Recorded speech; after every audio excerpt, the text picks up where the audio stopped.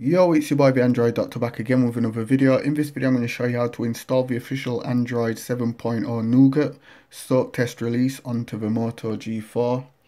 So this will also work with the Moto G4 Plus as well.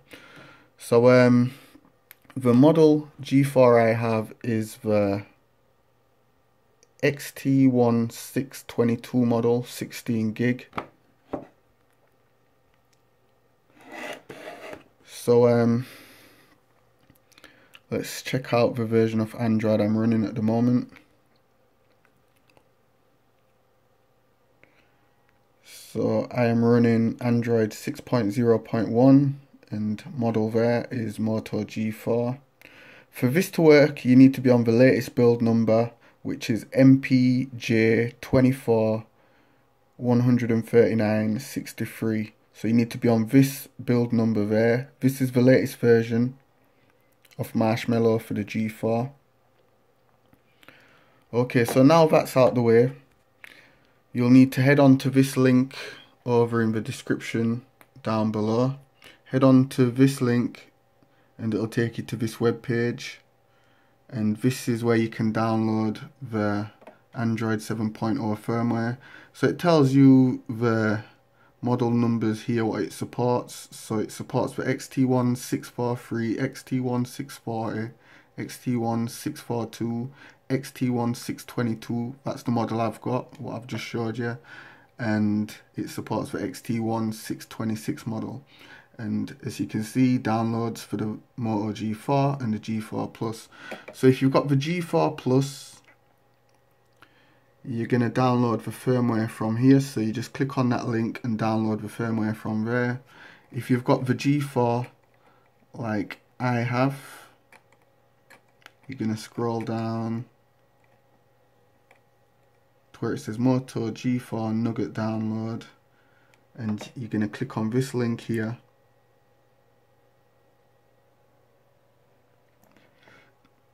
And after these couple of seconds you're going to see a download link here.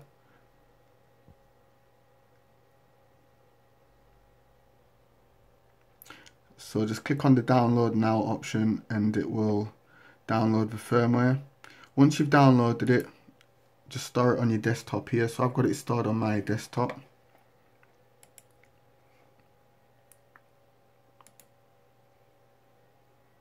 Let's just go back here Scroll down a bit. Okay, so like I said before, there's a few requirements. You need to be running the stock firmware on your Moto G4. So if you're rooted, this isn't going to work. You need to be running the stock firmware. Um, if you're rooted and you don't know how to return to stock firmware, I'll leave a link to my tutorial in the description down below. Follow that video and you should be unrooted within no time then you can come back to this video to install the Android 7.0 firmware. Okay the next thing is like I mentioned before you need to be on the latest firmware which is MPJ 2413963 so you need to be on that firmware for this to work. So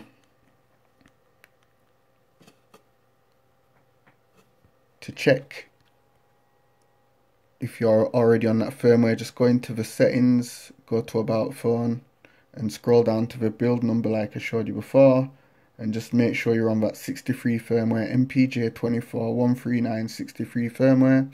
If you're on that firmware then you're good to go. You can go ahead and follow the rest of this video. If you're not on that firmware just go to system updates and check to see if the update's available download and install it and then you can carry on with this video to install Android 7.0 okay so like I said to you I've already downloaded the firmware from that link and I've stored it on my desktop. So the next thing you need to do is just put the firmware connect your phone to the USB cable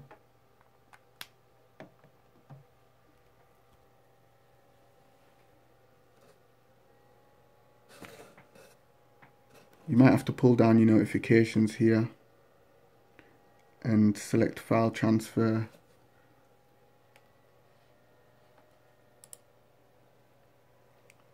And then select internal storage. And then just drag and drop the 7.0 firmware onto there.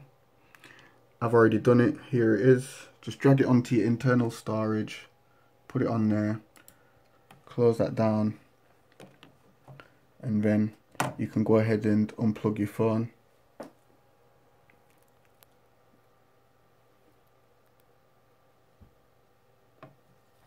Next thing you need to do is just power it off. In fact let me just turn down the brightness a bit because I need to show you guys something. Okay so just power off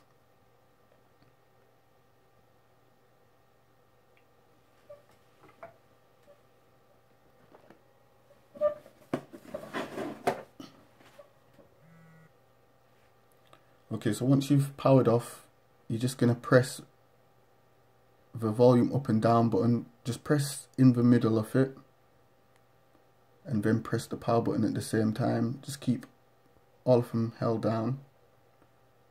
Okay, it didn't quite work the first time. Let's just power it off again.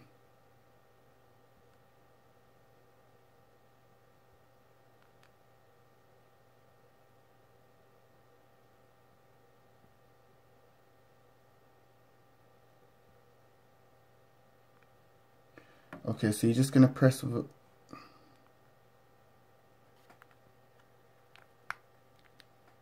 Okay, let's just wait for it to boot up. Sorry about that guys, that was my mistake.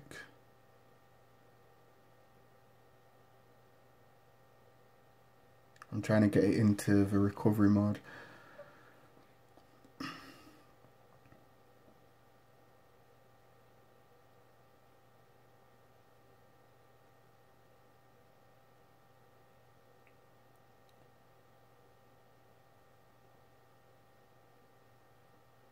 Okay, so let's try it again. Power off. And then you're going to press the volume, you're going to press the middle of the volume up and volume down button. You're going to press that and press the power button at the same time.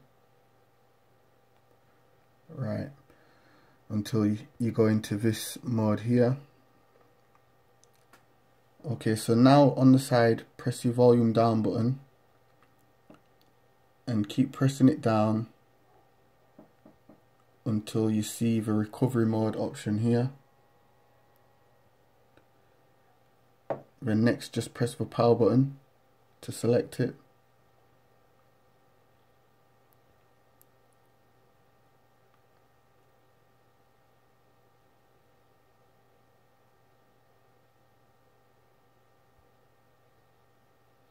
Okay, you'll see this little Android guy here and it will say no command. So next, just press the volume up button and the power button. Or press the power button and the volume up button, sorry. So press the power button and the volume up button and then you'll be in the recovery mode.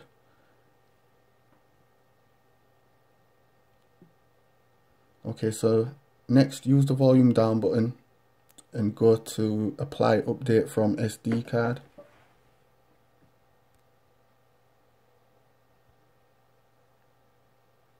And then press the power button to select it. And you should see the Android 7.0 firmware. It's called Blur version 2431 64 Athene Retail. So just use the volume down button and then use the power button to select it.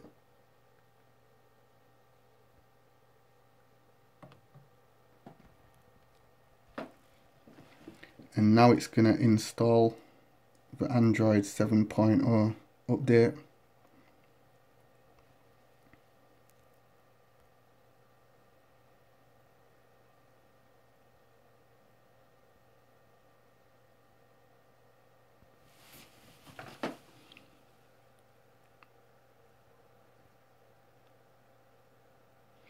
Okay, so the first thing it's going to do, it's going to verify the update package.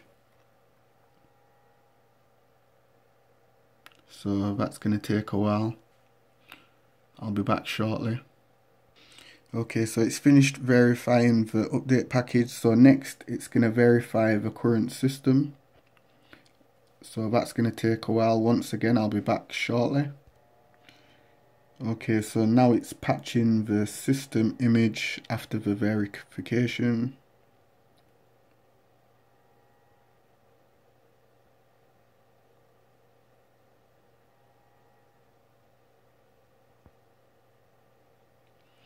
and once again it's going to take a while so I'll be back once it's finished doing that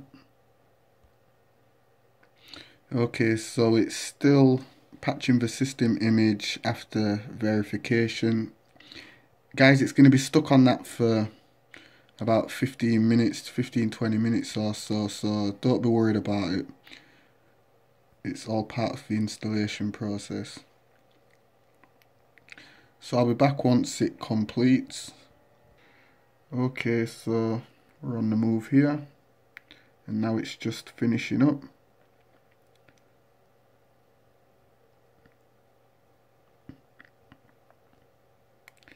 So it's patching the boot image, updating, updating, removing OEM files.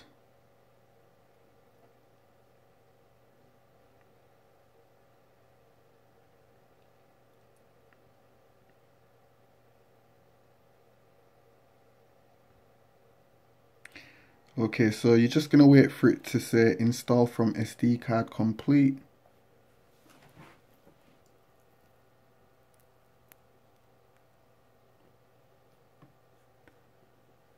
And then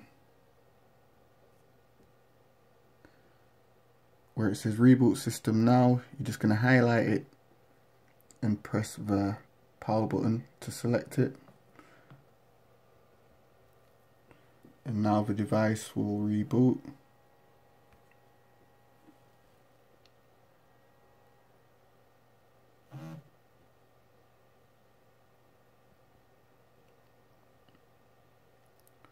Okay, so the whole installation process, it took about 20-25 minutes. So guys, like I says, um, just be patient, leave it to install, and then you can just reboot it.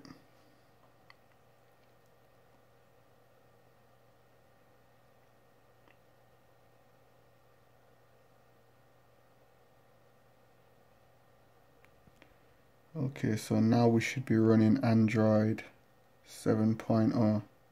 So let's just go into the settings here. And here is about phone, Android 7.0 which is Android N and this is how you install the official Android 7.0 soak test onto the Moto G4 or the Moto G4 Plus. If my video helped you out, you already know what to do. Give it a thumbs up. Leave any comments in the comment section down below. Um, another thing is you might be wondering if you've got the Android 7.0 soak test installed, when the official release does come out, um, the final release, will you still be able to get it? Well, you should still be able to get the notification on the device. If not, you will need to unroot and go back to Android 6.0 Marshmallow. If you don't know how to unroot and go back to, not unroot, sorry, if you don't know how to go back to Android 6.0, I'll leave a link to my tutorial in the description down below showing you how to put Android 6.0 back onto the Moto G4. But like I said, you should still get the notification whilst you're already on Android 7.0. But um, yeah, that's it for the video guys. If you like the video like I says and it helped you out, be sure to give it a thumbs up. Anyway, it's your boy the Android Doctor. I'm out.